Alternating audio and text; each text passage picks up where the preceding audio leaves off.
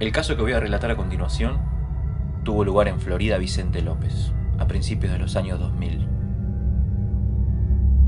El testigo fue a reposar su cuerpo luego de cenar. Recuerda estar recostado llamando la vigilia y sentirse observado, una constante en los casos de visitantes de dormitorios. Inmediatamente voltea su cabeza y no ve a nadie.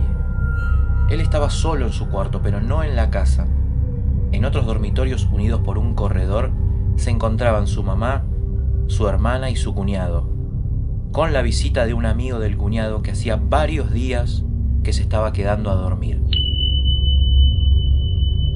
Al reiterarse esa sensación de estar siendo observado, gira su vista nuevamente en dirección a la puerta de salida del cuarto que estaba a menos de dos metros, y la imagen surreal lo deja perplejo.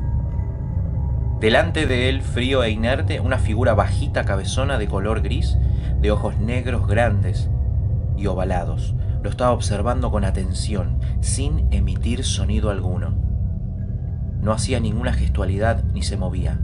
Este ser solo estaba ahí y lo miraba con frialdad. El espanto del testigo es inminente. La vista que tiene delante de sus ojos no le permite reaccionar.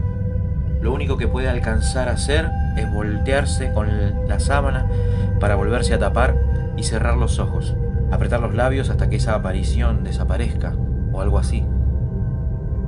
Luego de un rato largo, al no escuchar ruidos y no sentirse amenazado, vuelve a salir de abajo de las sábanas, mirando con horror la puerta de entrada, que estaba cerrada.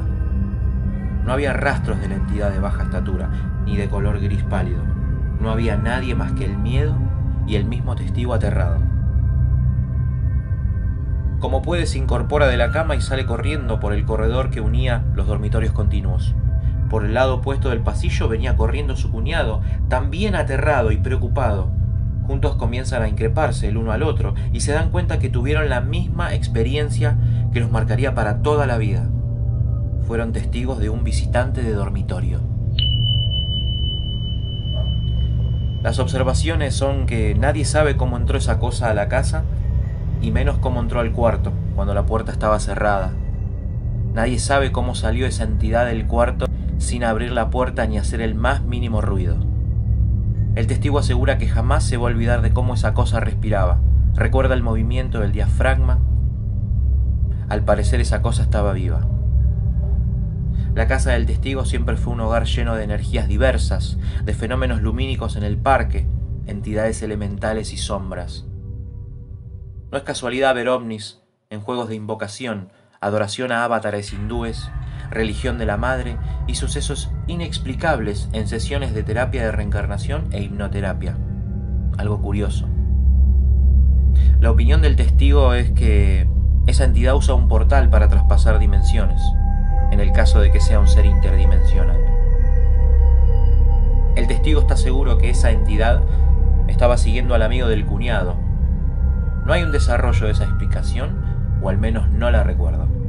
Solo recuerdo la afirmación de este testigo.